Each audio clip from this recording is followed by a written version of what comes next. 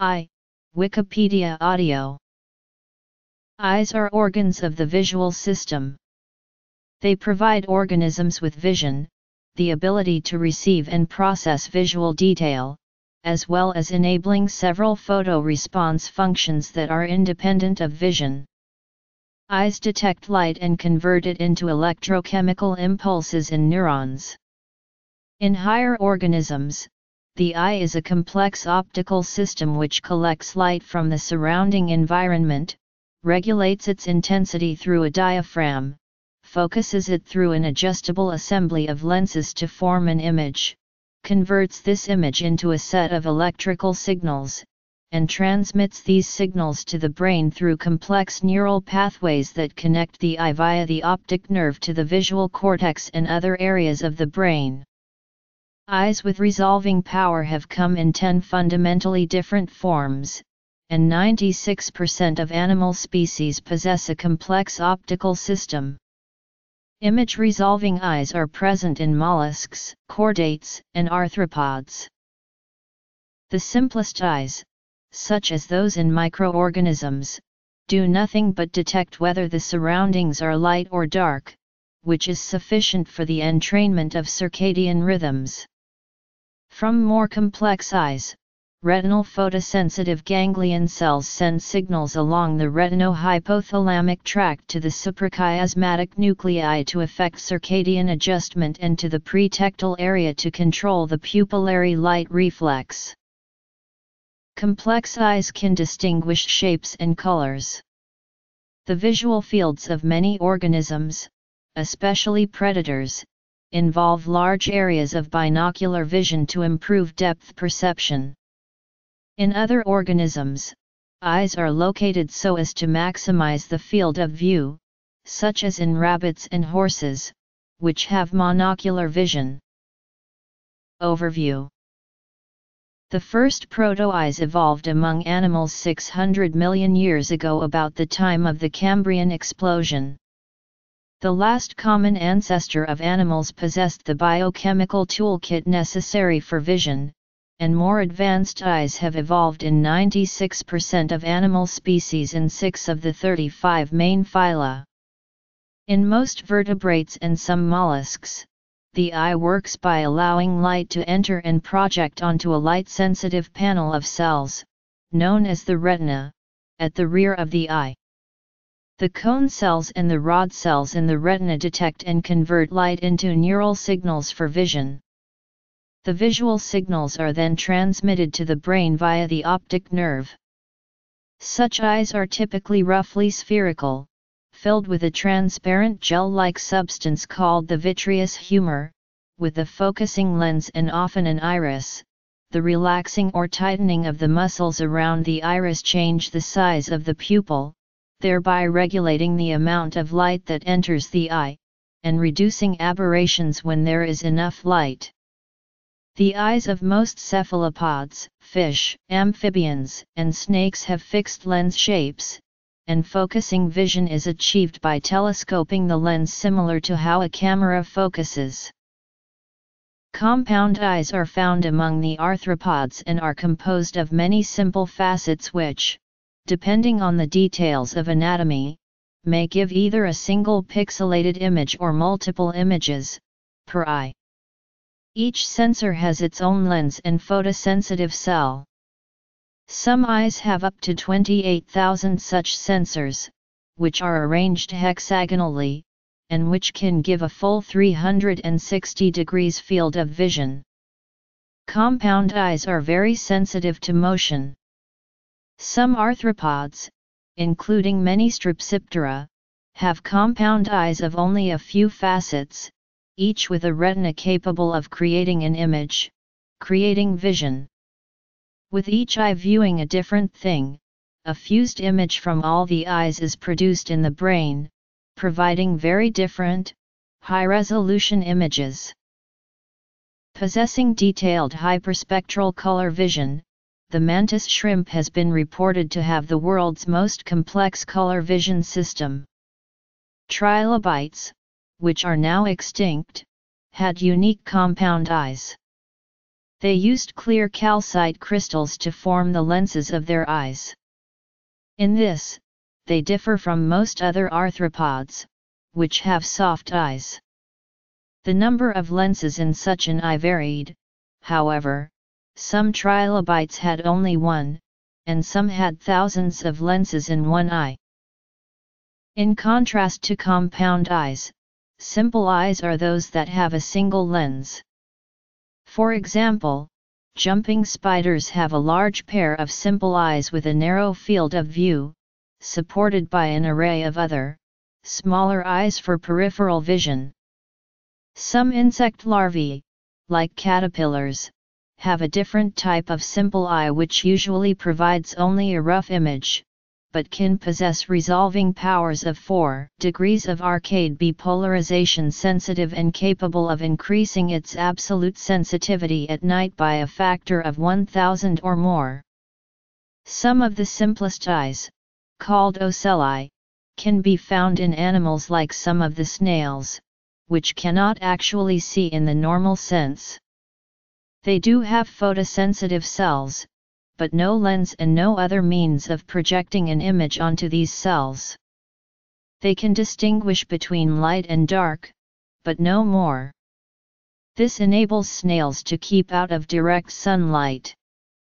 In organisms dwelling near deep sea vents, compound eyes have been secondarily simplified and adapted to spot the infrared light produced by the hot vents in this way the bearers can spot hot springs and avoid being boiled alive. There are 10 different eye layouts indeed every technological method of capturing an optical image commonly used by human beings, with the exceptions of zoom and Fresnel lenses, occur in nature. Eye types can be categorized into simple eyes, with one concave photoreceptive surface, and compound eyes, which comprise a number of individual lenses laid out on a convex surface. Note that simple does not imply a reduced level of complexity or acuity. Indeed, any eye type can be adapted for almost any behavior or environment. The only limitations specific to eye types are that of resolution the physics of compound eyes prevents them from achieving a resolution better than 1 degree. Also, superposition eyes can achieve greater sensitivity than apposition eyes, so are better suited to dark-dwelling creatures. Eyes also fall into two groups on the basis of their photoreceptors' cellular construction, with the photoreceptor cells either being ciliated or rhabdomeric. These two groups are not monophyletic, the Cnidaria also possess ciliated cells, and some gastropods, as well as some annelids possess both. Simple eyes are rather ubiquitous, and lens-bearing eyes have evolved at least seven times in vertebrates, cephalopods, annelids, crustaceans, and cubozoa. Pit eyes, also known as stemma, are eye spots which may be set into a pit to reduce the angles of light that enters and affects the eye spot, to allow the organism to deduce the angle of incoming light. Found in about 85% of phyla, these basic forms were probably the precursors to more advanced types of simple eye. They are small, comprising up to about 100 cells covering about 100 m. The directionality can be improved by reducing the size of the aperture, by incorporating a reflective layer behind the receptor cells, or by filling the pit with a refractile material. Pit vipers have developed pits that function as eyes by sensing thermal infrared radiation, in addition to their optical wavelength eyes like those of other vertebrates. The resolution of pit eyes can be greatly improved by incorporating a material with a higher refractive index to form a lens, which may greatly reduce the blur radius encountered hence increasing the resolution obtainable. The most basic form, seen in some gastropods and annelids, consists of a lens of one refractive index. A far sharper image can be obtained using materials with a high refractive index, decreasing to the edges, this decreases the focal length and thus allows a sharp image to form on the retina. This also allows a larger aperture for a given sharpness of image, allowing more light to enter the lens, and a flatter lens, reducing spherical aberration. Such an inhomogeneous lens is necessary in order for the focal length to drop from about 4 times the lens radius, to 2.5 radii. Types Heterogeneous eyes have evolved at least nine times, four or more times in gastropods, once in the copepods, once in the annelids, once in the cephalopods, and once in the chitons, which have aragonite lenses. No extant aquatic organisms possess homogeneous lenses, presumably the evolutionary pressure for a heterogeneous lens is great enough for this stage to be quickly outgrown. This eye creates an image that is sharp enough that motion of the eye can cause significant blurring. To minimize the effect of eye motion while the animal moves, most such eyes have stabilizing eye muscles. The ocelli of insects bear a simple lens, but their focal point always lies behind the retina, consequently they can never form a sharp image. Ocelli blur the image across the whole retina, and are consequently excellent at responding to rapid changes in light intensity across the whole visual field. This fast response is further accelerated by the large nerve bundles which rush the information to the brain. Focusing the image would also cause the sun's image to be focused on a few receptors, with the possibility of damage under the intense light. Shielding the receptors would block out some light and thus reduce their sensitivity.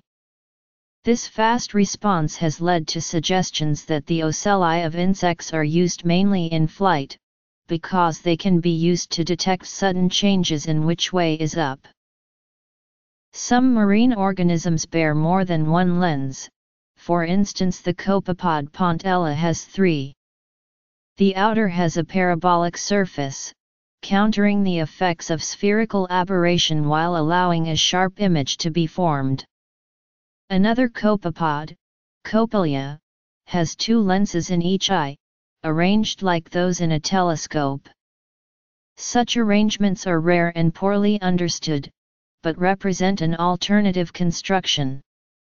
Multiple lenses are seen in some hunters such as eagles and jumping spiders, which have a refractive cornea, these have a negative lens, enlarging the observed image by up to 50% over the receptor cells, thus increasing their optical resolution. In the eyes of most mammals, birds, reptiles, and most other terrestrial vertebrates the vitreous fluid has a higher refractive index than the air. In general, the lens is not spherical. Spherical lenses produce spherical aberration. In refractive corneas, the lens tissue is corrected with inhomogeneous lens material, or with an aspheric shape. Flattening the lens has a disadvantage, the quality of vision is diminished away from the main line of focus. Thus, animals that have evolved with a wide field of view often have eyes that make use of an inhomogeneous lens. As mentioned above, a refractive cornea is only useful out of water. In water, there is little difference in refractive index between the vitreous fluid and the surrounding water. Hence creatures that have returned to the water penguins and seals, for example lose their highly curved cornea and return to lens-based vision. An alternative solution, borne by some divers, is to have a very strongly focusing cornea. An alternative to a lens is to line the inside of the eye with mirrors, and reflect the image to focus at a central point. The nature of these eyes means that if one were to peer into the pupil of an eye, one would see the same image that the organism would see, reflected back out. Non-compound eyes Pit eyes Many small organisms such as rotifers, copepods, and flatworms use such organs, but these are too small to produce usable images. Some larger organisms, such as scallops, also use reflector eyes. The scallop pecten has up to 100 mm scale reflector eyes fringing the edge of its shell. It detects moving objects as they pass successive lenses. Spherical lensed eye. Multiple lenses. Refractive cornea. Reflector eyes. Compound eyes. There is at least one vertebrate, the spook fish, whose eyes include reflective optics for focusing of light. Each of the two eyes of a spook fish collects light from both above and below, the light coming from above is focused by a lens, while that coming from below, by a curved mirror composed of many layers of small reflective plates made of guanine crystals. A compound eye may consist of thousands of individual photoreceptor units or ommatidia. The image perceived is a combination of inputs from the numerous ommatidia, which are located on a convex surface, thus pointing in slightly different directions. Compared with simple eyes, compound eyes possess a very large view angle, and can detect fast movement and, in some cases, the polarization of light. Because the individual lenses are so small, the effects of diffraction impose a limit on the possible resolution that can be obtained. This can only be countered by increasing lens size and number. To see with a resolution comparable to our simple eyes, humans would require very large compound eyes, around 11 meters in radius. Compound eyes fall into two groups, apposition eyes, which form multiple inverted images, and superposition eyes, which form a single erect image. Compound eyes are common in arthropods, and are also present in annelids and some bivalved mollusks. Compound eyes, in arthropods at least, grow at their margins by the addition of new ommatidia. Apposition eyes Apposition eyes are the most common form of eyes, and are presumably the ancestral form of compound eyes. They are found in all arthropod groups, although they may have evolved more than once within this phylum. Some annelids and bivalves also have apposition eyes. They are also possessed by Limulus, the horseshoe crab, and there are suggestions that other chelicerates developed their simple eyes by reduction from a compound starting point. Apposition eyes work by gathering a number of images, one from each eye, and combining them in the brain, with each eye typically contributing a single point of information. The typical apposition eye has a lens focusing light from one direction on the rhabdom, while light from other directions is absorbed by the dark wall of the ommatidium. The second type is named the superposition eye. The superposition eye is divided into three types, the refracting, the reflecting, and the parabolic superposition eye. The refracting superposition eye has a gap between the lens and the rhabdom, and no side wall. Each lens takes light at an angle to its axis and reflects it to the same angle on the other side. The result is an image at half the radius of the eye, which is where the tips of the rhabdoms are. This type of compound eye, for which a minimal size exists below which effective superposition cannot occur, is normally found in nocturnal insects, because it can create images up to 1000 times brighter than equivalent apposition eyes, though at the cost of reduced resolution. In the parabolic superposition compound eye type, seen in arthropods such as mayflies, the parabolic surfaces of the inside of each facet focus light from a reflector to a sensor array. Long-bodied decapod crustaceans such as shrimp, prawns, crayfish, and lobsters are alone in having reflecting superposition eyes, which also have a transparent gap but use corner mirrors instead of lenses. This eye type functions by refracting light, then using a parabolic mirror to focus the image, it combines features of superposition and apposition eyes. Another kind of compound eye, found in males of order Strepsiptera, employs a series of simple eyes eyes having one opening that provides light for an entire image-forming retina. Several of these islets together form the strepsipteran compound eye, which is similar to the schizochroal compound eyes of some trilobites. Because each islet is a simple eye, it produces an inverted image, those images are combined in the brain to form one unified image. Because the aperture of an islet is larger than the facets of a compound eye, this arrangement allows vision under low light levels. Good flyers such as flies or honeybees, or prey-catching insects such as praying mantis or dragonflies, have specialized zones of ommatidia organized into a fovea area which gives acute vision.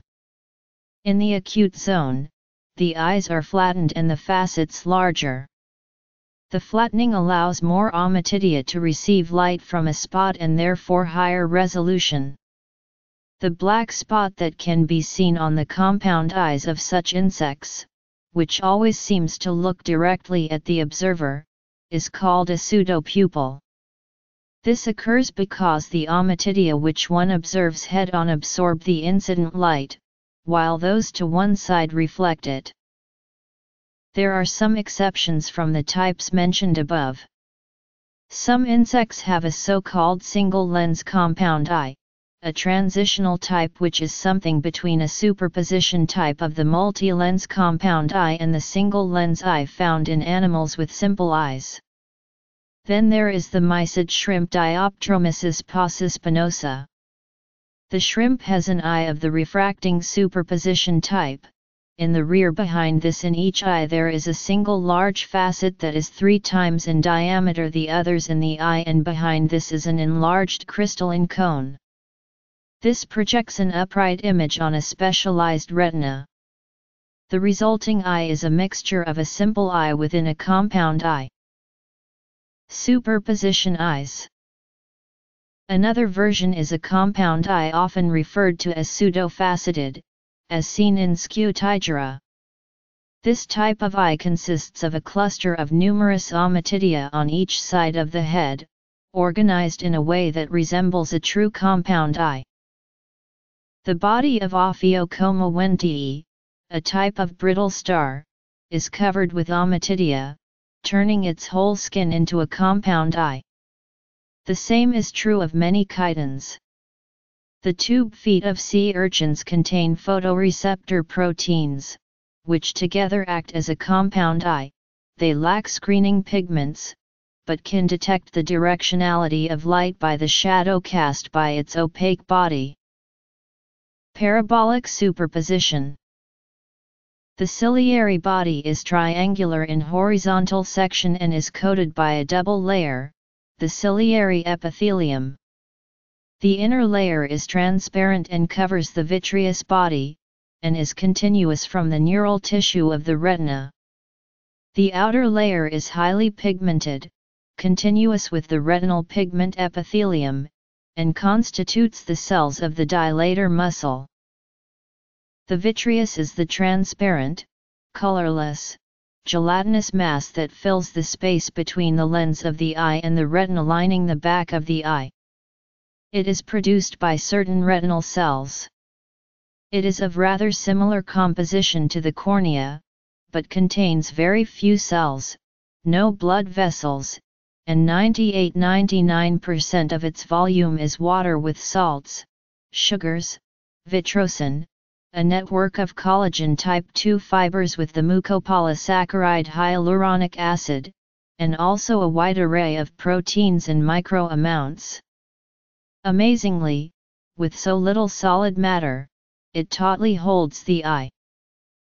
Other Nutrients Evolution Photoreception is phylogenetically very old, with various theories of phylogenesis. The common origin of all animal eyes is now widely accepted as fact. This is based upon the shared genetic features of all eyes, that is, all modern eyes, varied as they are, have their origins in a proto-eye believed to have evolved some 540 million years ago, and the PAX6 gene is considered a key factor in this. The majority of the advancements in early eyes are believed to have taken only a few million years to develop, since the first predator to gain true imaging would have touched off an arms race among all species that did not flee the photopic environment. Prey animals and competing predators alike would be at a distinct disadvantage without such capabilities and would be less likely to survive and reproduce. Hence multiple eye types and subtypes developed in parallel. Eyes in various animals show adaptation to their requirements. For example, the eye of a bird of prey has much greater visual acuity than a human eye, and in some cases can detect ultraviolet radiation. The different forms of eye in, for example, vertebrates and mollusks are examples of parallel evolution, despite their distant common ancestry. Phenotypic convergence of the geometry of cephalopod and most vertebrate eyes creates the impression that the vertebrate eye evolved from an imaging cephalopod eye, but this is not the case, as the reversed roles of their respective ciliary and rhabdomeric opsin classes and different lens crystallins show. The very earliest eyes, called eye spots, were simple patches of photoreceptor protein in unicellular animals. In multicellular beings, multicellular eye spots evolved, physically similar to the receptor patches for taste and smell. These eye spots could only sense ambient brightness, they could distinguish light and dark, but not the direction of the light source. Through gradual change, the eye spots of species living in well-lit environments depressed into a shallow cup shape, the ability to slightly discriminate directional brightness was achieved by using the angle at which the light hit certain cells to identify the source. The pit deepened over time, the opening diminished in size, and the number of photoreceptor cells increased, forming an effective pinhole camera that was capable of dimly distinguishing shapes. However, the ancestors of modern hagfish, thought to be the protovertebrate were evidently pushed to very deep, dark waters, where they were less vulnerable to sighted predators, and where it is advantageous to have a convex eye spot, which gathers more light than a flat or concave one. This would have led to a somewhat different evolutionary trajectory for the vertebrate eye than for other animal eyes. The thin overgrowth of transparent cells over the eye's aperture, originally formed to prevent damage to the eye spot, allowed the segregated contents of the eye chamber to specialize into a transparent humor that optimized color filtering, blocked harmful radiation, improved the eye's refractive index, and allowed functionality outside of water. The transparent protective cells eventually split into two layers, with circulatory fluid in between that allowed wider viewing angles and greater imaging resolution, and the thickness of the transparent layer gradually increased, in most species with the transparent crystalline protein. The gap between tissue layers naturally formed a biconvex shape, an optimally ideal structure for a normal refractive index. Independently, a transparent layer and a non-transparent layer split forward from the lens, the cornea and iris. Separation of the forward layer again formed a humor, the aqueous humor. This increased refractive power and again eased circulatory problems. Formation of a non-transparent ring allowed more blood vessels, more circulation, and larger eye sizes. Eyes are generally adapted to the environment and life requirements of the organism which bears them. For instance, the distribution of photoreceptors tends to match the area in which the highest acuity is required, with horizon scanning organisms, such as those that live on the African plains, having a horizontal line of high-density ganglia, while tree-dwelling creatures which require good all-round vision tend to have a symmetrical distribution of ganglia, with acuity decreasing outwards from the center. Of course, for most eye types, it is impossible to diverge from a spherical form, so only the density of optical receptors can be altered. In organisms with compound eyes, it is the number of ommatidia rather than ganglia that reflects the region of highest data acquisition. 23 4 Optical superposition eyes are constrained to a spherical shape, but other forms of compound eyes may deform to a shape where more ommatidia are aligned to, say, the horizon, without altering the size or density of individual ommatidia. Eyes of horizon scanning organisms have stalks so they can be easily aligned to the horizon when this is inclined, for example if the animal is on a slope. An extension of this concept is that the eyes of predators typically have a zone of very acute vision at their center, to assist in the identification of prey. In deep water organisms, it may not be the center of the eye that is enlarged. The hyperiid amphipods are deep water animals that feed on organisms above them. Their eyes are almost divided into two, with the upper region thought to be involved in detecting the silhouettes of potential prey or predators against the faint light of the sky above. Accordingly, deeper water hyperiids, where the light against which the silhouettes must be compared is dimmer, have larger upper eyes, and may lose the lower portion of their eyes altogether. In the giant Antarctic isopod Glyptonotus a small ventral compound eye is physically completely separated from the much larger dorsal compound eye. Depth perception can be enhanced by having eyes which are enlarged in one direction, distorting the eye slightly allows the distance to the object to be estimated with a high degree of accuracy. Acuity is higher among male organisms that mate in mid-air, as they need to be able to spot and assess potential mates against a very large backdrop. On the other hand, the eyes of organisms which operate in low light levels, such as around dawn and dusk or in deep water, tend to be larger to increase the amount of light that can be captured. It is not only the shape of the eye that may be affected by lifestyle. Eyes can be the most visible parts of organisms, and this can act as a pressure on organisms to have more transparent eyes at the cost of function. Eyes may be mounted on stalks to provide better all-round vision, by lifting them above an organism's carapace, this also allows them to track predators or prey without moving the head. Visual acuity, or resolving power, is the ability to distinguish fine detail and is the property of cone cells. It is often measured in cycles per degree, which measures an angular resolution, or how much an eye can differentiate one object from another in terms of visual angles. Resolution in CPD can be measured by bar charts of different numbers of white-slash-black stripe cycles.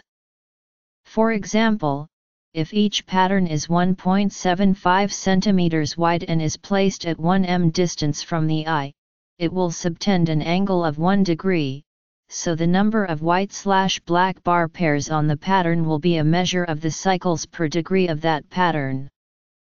The highest such number that the eye can resolve as stripes, or distinguish from a gray block, is then the measurement of visual acuity of the eye. For a human eye with excellent acuity, the maximum theoretical resolution is 50 CPD. A rat can resolve only about 1 to 2 CPD. A horse has higher acuity through most of the visual field of its eyes than a human has, but does not match the high acuity of the human eye's central fovea region. Spherical aberration limits the resolution of a 7 mm pupil to about 3 arc minutes per line pair. At a pupil diameter of 3 mm, the spherical aberration is greatly reduced, resulting in an improved resolution of approximately 1.7 arc minutes per line pair.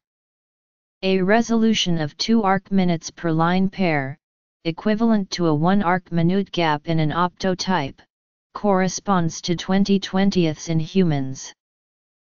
However, in the compound eye, the resolution is related to the size of individual ommatidia and the distance between neighboring ommatidia. Physically these cannot be reduced in size to achieve the acuity seen with single-lensed eyes as in mammals. Compound eyes have a much lower acuity than vertebrate eyes. Color vision is the faculty of the organism to distinguish lights of different spectral qualities. All organisms are restricted to a small range of electromagnetic spectrum, this varies from creature to creature, but is mainly between wavelengths of 400 and 700 nm. This is a rather small section of the electromagnetic spectrum, probably reflecting the submarine evolution of the organ. Water blocks out all but two small windows of the M spectrum, and there has been no evolutionary pressure among land animals to broaden this range. The most sensitive pigment, rhodopsin, has a peak response at 500 nm. Small changes to the gene's coding for this protein can tweak the peak response by a few nm. Pigments in the lens can also filter incoming light, changing the peak response. Many organisms are unable to discriminate between colors, seeing instead in shades of gray, color vision necessitates a range of pigment cells which are primarily sensitive to smaller ranges of the spectrum. In primates, geckos, and other organisms, these take the form of cone cells, from which the more sensitive rod cells evolved. Even if organisms are physically capable of discriminating different colors, this does not necessarily mean that they can perceive the different colors, only with behavioral tests can this be deduced. Most organisms with color vision are able to detect ultraviolet light. This high-energy light can be damaging to receptor cells. With a few exceptions, most organisms avoid these effects by having absorbent oil droplets around their cone cells. The alternative, developed by organisms that had lost these oil droplets in the course of evolution, is to make the lens impervious to UV light. This precludes the possibility of any UV light being detected, as it does not even reach the retina. The retina contains two major types of light-sensitive photoreceptor cells used for vision, the rods and the cones. Rods cannot distinguish colors, but are responsible for low-light monochrome vision, they work well in dim light as they contain a pigment, rhodopsin, which is sensitive at low light intensity, but saturates at higher intensities. Rods are distributed throughout the retina but there are none at the fovea and none at the blind spot. Rod density is greater in the peripheral retina than in the central retina. Cones are responsible for color vision. They require brighter light to function than rods require. In humans, there are three types of cones, maximally sensitive to long wavelength, medium wavelength, and short wavelength light. The color seen is the combined effect of stimuli to, and responses from, these three types of cone cells. Cones are mostly concentrated in and near the fovea. Only a few are present at the sides of the retina. Objects are seen most sharply in focus when their images fall on the fovea, as when one looks at an object directly.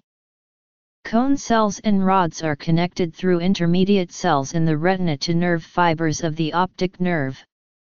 When rods and cones are stimulated by light, they connect through adjoining cells within the retina to send an electrical signal to the optic nerve fibers.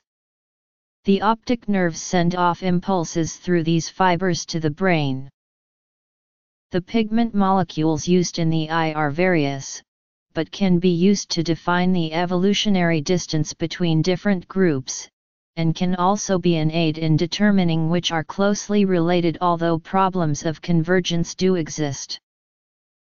Opsins are the pigments involved in photoreception. Other pigments, such as melanin, are used to shield the photoreceptor cells from light leaking in from the sides. The opsin protein group evolved long before the last common ancestor of animals, and has continued to diversify since. There are two types of opsin involved in vision, C-opsins, which are associated with ciliary-type photoreceptor cells, and R-opsins, associated with rhabdomeric photoreceptor cells. The eyes of vertebrates usually contain ciliary cells with C-opsins, and invertebrates have rhabdomeric cells in the eye with R-opsins. However, some ganglion cells of vertebrates express R-opsins, suggesting that their ancestors used this pigment in vision, and that remnants survive in the eyes. Likewise, C-opsins have been found to be expressed in the brain of some invertebrates. They may have been expressed in ciliary cells of larval eyes, which were subsequently resorbed into the brain on metamorphosis to the adult form. C-opsins are also found in some derived bilaterian invertebrate eyes, such as the pallial eyes of the bivalve mollusks, however, the lateral eyes always use R-opsins. Cnidaria, which are an outgroup to the taxa mentioned above, express C-opsins but R-opsins are yet to be found in this group. Incidentally, the melanin produced in the cnidaria is produced in the same fashion as that in vertebrates, suggesting the common descent of this pigment. The structures of the eye labeled. Another view of the eye and the structures of the eye labeled. Relationship to life requirements. Physiology Visual acuity Color perception Rods and cones Pigmentation Notes Bibliography Additional reading